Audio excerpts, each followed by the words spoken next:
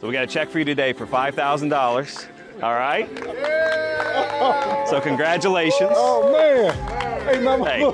If you need to be mentored, we're, we're willing to help. You know, we're willing to to um, step in because we want to change the narrative of what it means to be a young person. So this summer, we we had over 500 young young men signed up for our program. Maybe someone taking the wrong path because they feel like they don't have any hope to now feeling like uh, encouraged, you know, to, to, to change their life.